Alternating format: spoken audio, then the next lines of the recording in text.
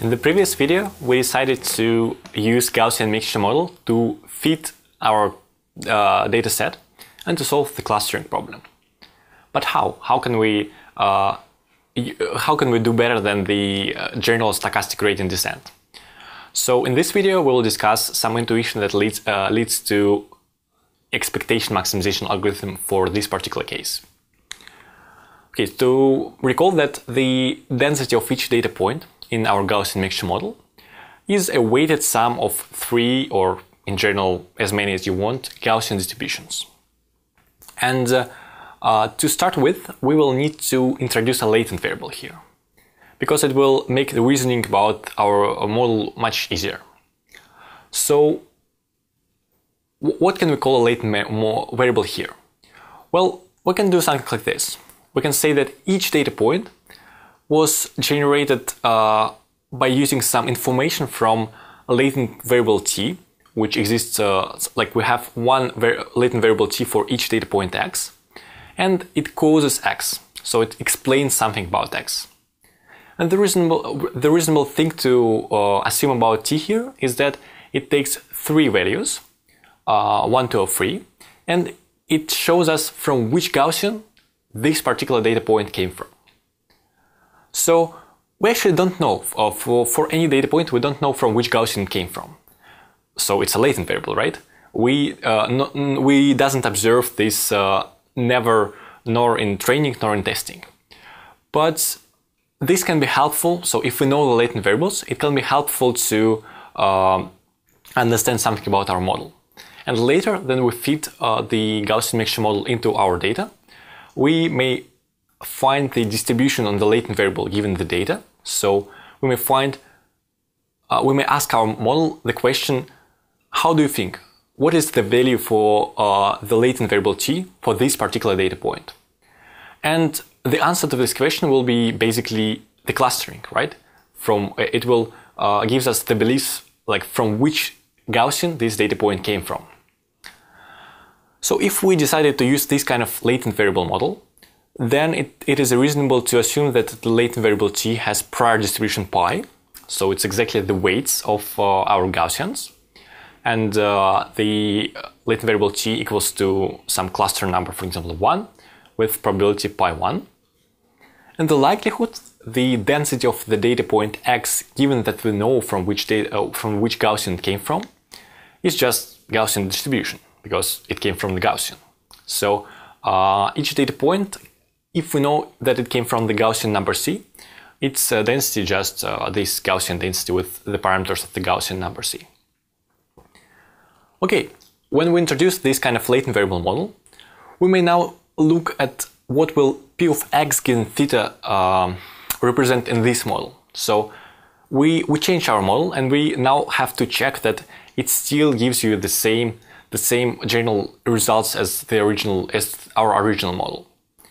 If we write down p of x given theta given parameters in this latent variable model, we'll get this.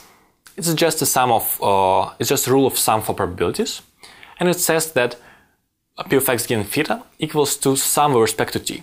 So we, we are marginalizing out t. We are summing with respect to all possible values for t, from 1 to 3. And we are summing the joint distribution p of x and t, which equals to the likelihood times the prior. And if you substitute the definition of the prior and likelihood into this summation, you can understand that this last formula on this slide is exactly equal to the first formula. So we introduced some latent variable in such a way that we, uh, when we marginalize out this variable, we get exactly what we had before. Which means that we now can use this latent variable model, train it with the observed data x, x and uh, it will give us exactly the same results as uh, we would get if uh, we used the original model. So let's, let's now try to build some intuition about how to train this latent variable model. So say we have a data set, and now uh, say it's one-dimensional, so each data point from 1 to n is just one number for simplicity of illustration.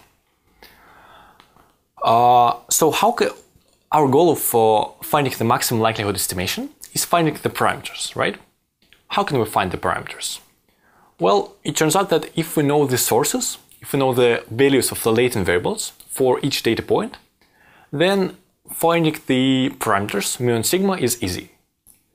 Because, you know, you can say that all the blue data points here uh, is the data points for which we know that uh, they came from the first Gaussian. And we can look at them separately from the, all the orange data points and just fit them into one Gaussian, which we already know how to do because it's just uh, fitting some data set of blue points into a Gaussian distribution. And you can look, uh, you can see the formulas on the bottom of the slide, but uh, it's something we have already done in, the, in week one. Which means that if we know the sources, if we know the values of the latent variables, it's easy to estimate the parameters theta.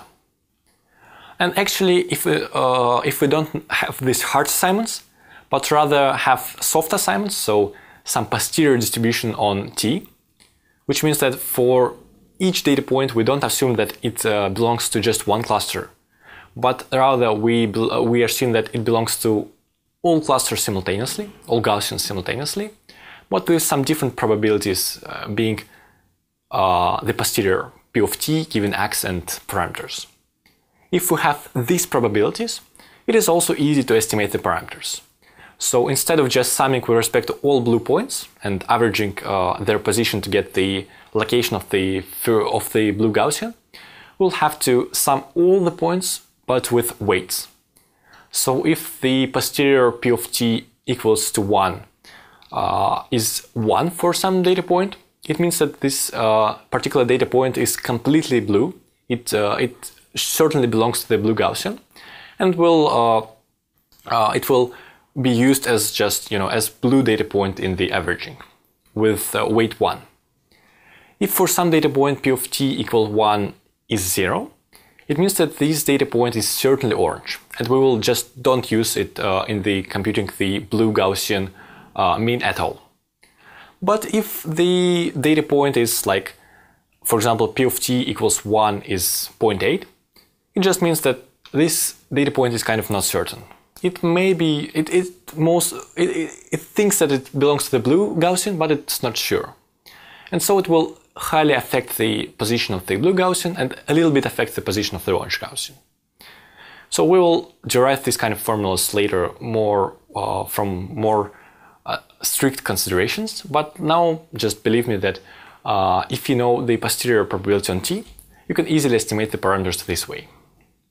Okay, but uh, the bottom line here is that if we know the sources, no matter soft assignments or hard assignments, then we can easily estimate the parameters of our Gaussian mixture model.